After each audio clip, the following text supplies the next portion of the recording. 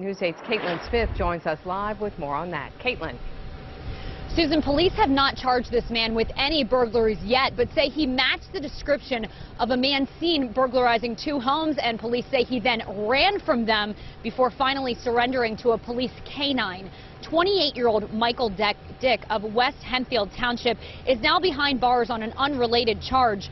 Monday, officers with West Lampeter Township and Southern Regional Police say they worked together to chase him down. They say the Lancaster County Sheriff's Department canine, Ronin, found Michael Dick hiding near the Hans Herr house.